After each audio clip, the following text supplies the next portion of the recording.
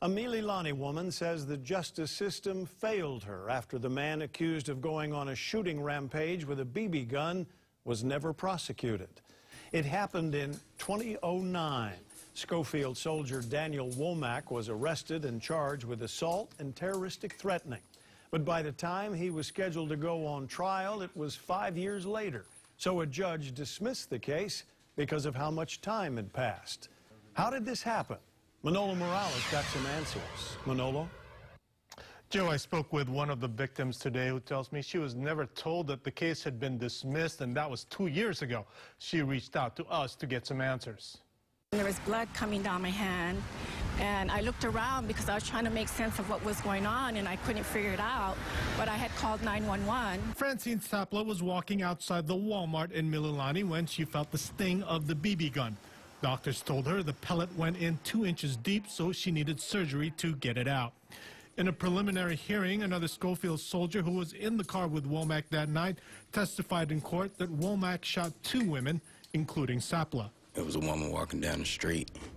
He put the BB gun across across me out the passenger side window, and he shot the woman. After that hearing, Sapla waited patiently for justice. Nothing has been done. I haven't been notified. I've been trying to seek help as to, you know, what my rights are, um, and I don't want to tap it to anybody else till this day. Um, I am taking medication to help me cope with it. Hi, this is Manolo Morales from KHON2 News. After calling the prosecutor's office, the state judiciary, and the Department of Public Safety, here's what we've learned. Prosecutors tell us Womack did not appear at his next hearing, so the state judiciary issued a bench warrant for his arrest. That was in August 2009. Womack was not served that bench warrant until four years later in 2013. Keith Kaneshiro took over as Honolulu prosecutor in 2010.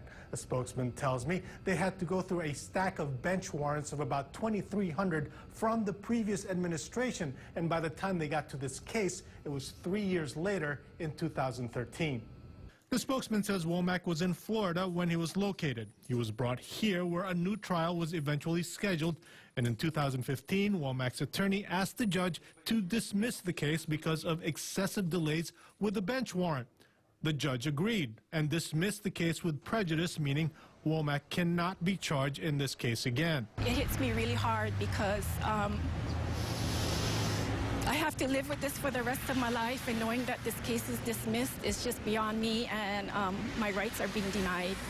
When I asked why the bench warrant took so long to be served, I was told I had to ask the Public Safety Department because deputy sheriffs would have been the one to serve that warrant. But a spokeswoman for DPS told me they never received the bench warrant and to check with the courts. So I did, and the Judiciary Department told me to check its online records, which were unavailable by the time we checked. The spokesman for the prosecutor's office also told us that someone did contact Sapla after the case was dismissed, but there's no record of what she was told. Sapla insists no one had contacted her since 2014, which is well before the judge dismissed the case. We'll be looking for those online records on Monday, and we'll let you know what we find.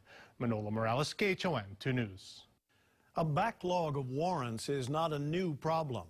In 2006, there was a backlog of over 70,000 bench warrants due to lack of personnel, budget cuts, and poor coordination among the courts, sheriffs, and police. The judiciary's electronic bench warrant system was developed to help clear the backlog. In its first year, the system reduced 15,000 backlogged warrants.